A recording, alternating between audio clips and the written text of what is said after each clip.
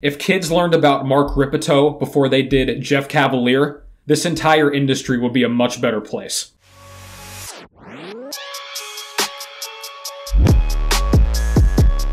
Chest up, shoulders back. Welcome to Revival Fitness, everybody, your home for gains and brains. You guys might be able to hear in the background there's helicopters flying around. Apparently, tonight is the Oscars in LA, so they gotta get all their shots of the celebrities. Like, if you're still watching these award shows, seriously, what is wrong with you? But today we're going to talk about the pros and cons of the starting strength method. What? Now, as you guys know, I have criticized Mark Rippetoe before, mainly for his absurd video on the trap bar. There's no uniformity. There's no uniformity. There's no uniformity. Acting like it's poisonous or something. But aside from that, he has more pros than cons. He is an icon, if we're being totally honest, in the lifting game. Not the modern fitness social media industry, but in actual training he's up there. So let's begin with pro number one here. Mark Rippetoe himself is on the Mount Rushmore of lifting, like I mentioned. I believe that both starting strength and practical programming, as you can see here, I believe these are both fundamental books that novice lifters and athletes even should be reading. And the reason being is that both books are one, they're well written, they cover a lot of information, and probably the most important thing with both of them they teach the fundamental basics. They talk about how training, especially for strength, is a full body endeavor. We see so much in the modern bodybuilding, social media, aesthetics culture. Everything is isolated. But even if you do wish to isolate a single muscle group, which you guys have seen me do, on more than one occasion, safe weight training is a full body activity no matter how you slice it. And on that end, starting strength and RIP really preach the basic compound exercises. One more! You got one more! Oh, you, yeah! Badass! The basics are king. If you want to get strong and big as a straight beginner, all you need is a barbell, a rack, and some plates, and I guess a bench. These lifts put more total size and strength on you, and they are lifts that must be mastered by novices.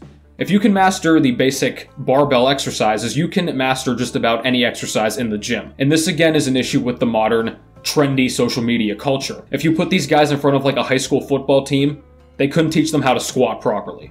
Like that's how bad this is.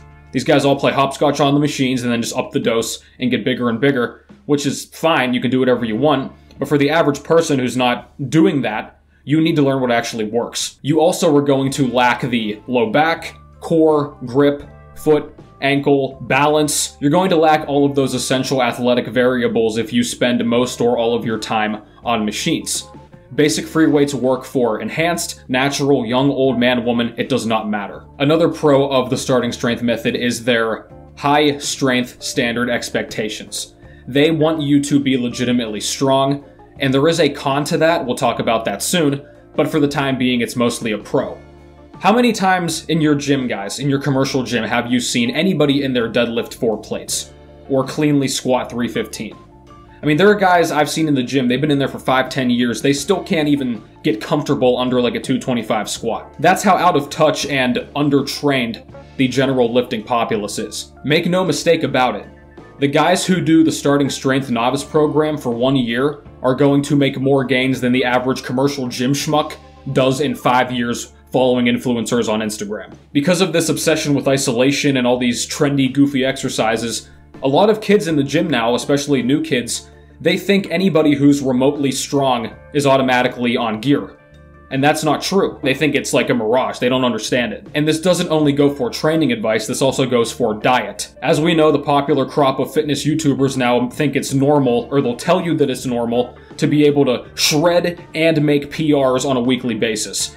That's not happening. I mean, you just, you're just not big enough main gaining, whatever bullshit you want to call it, it's a myth. Rippetoe, on the other hand, is brutally honest about what it takes to get big and strong, and that is eating more food. So that alone is really a massive benefit. And then the final point, just a quick one, strength lifting. Instead of the big three squat, bench, and deadlift, it is the squat, the press, the overhead press, and the deadlift.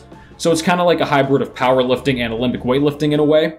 I just think it's cool. I've watched a guy in their gym overhead press 405 pounds, which is just freaking ridiculous.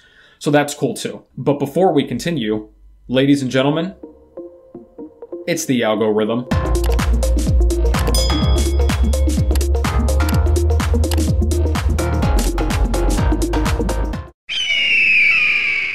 Getting into the first con with starting strength.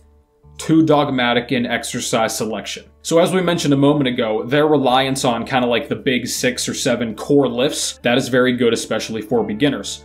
But once you get out of that novice phase, especially with dominant weak points on your physique or in your musculature, you're going to have to expand your horizons. If you look at Rippetoe's program, the Texas Method, for example, this is an intermediate program, still only three days a week, and you do what, like eight exercises total. Once you get intermediate strength and above, I think stimulus to fatigue for a lot of us on his programs are going to become an issue. I personally think a four day program, something like 531 or conjugate, something like that, is going to give you a little bit more leeway in terms of more exercise selection and more total volume for your training.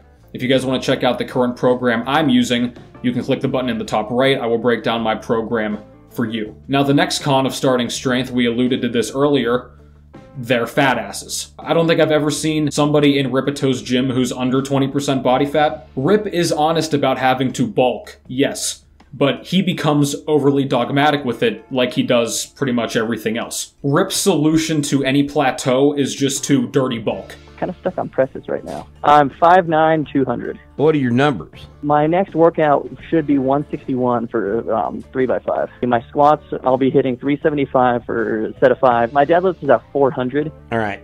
So this is this is what I would do. I think that uh, the body weight is the problem. I think you need to gain 10 pounds as quick as you can. And you need to grow an ass, and you need to grow some adductors, and you need to grow some traps. And all this means body weight in Rippetoe's world, you can make progress forever by becoming Mrs. Puff and just blowing up all day, but for most people, that's going to have its limitations. Number one, plenty of lifters, younger guys especially, a lot of novices, people getting into the gym, they have absolutely no desire to be 20 plus percent body fat. That's part of the reason they joined the gym in the first place to avoid that. And number two, a lot of lifters with health concerns, especially older lifters, Probably isn't too smart for them to be 20 plus percent body fat year round and still gaining, just for health purposes.